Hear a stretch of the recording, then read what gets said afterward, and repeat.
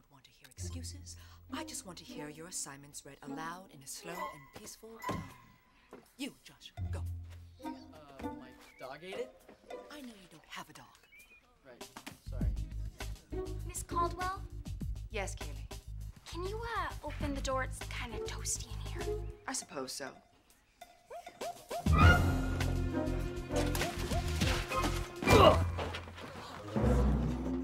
Jason Shepherd, did you just come in from that window?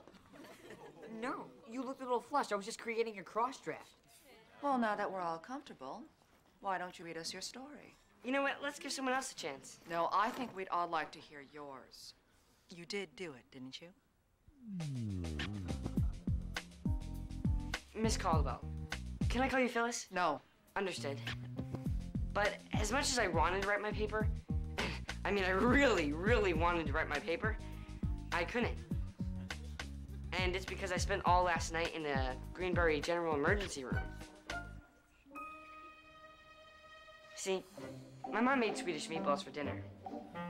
It's my dad's favorite. And he was so excited, he accidentally swallowed one whole. It was awful. He started choking, his face turned purple, the meatball was literally bulging out of his neck. We rushed him to the ER. I kept trying to write my paper in the waiting room, but it was too hard. I needed to be by my father's side. After all, he's the only dad I got. You are lying through your teeth, you little demon.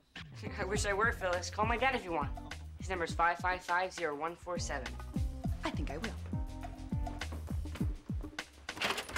Crazy? You're totally gonna get busted. Say Harry Shepherd's office. No way. Don't drag me into this. Come on, help me out. What am I supposed to do? How about write the paper? Do it. No. Do it. No. Harry Shepherd's office. One moment, please. Hello. Oh, hello, Miss Caldwell. Yes, it's true. It was terrifying. I started to see the white light. I was just about to cross over to the other side when I heard the voice of an angel calling out. And when I opened my eyes, I saw my sweet, sweet Jason standing over me. And I said, Back off, Grim Reaper. I ain't done living yet. And with every ounce of gas I had left in my body, I burnt that meatball right across the room. And I owe it all to my son. I'm sorry, Miss Caldwell. I should stop talking now. My throat is still very sore. Thank you. Jason?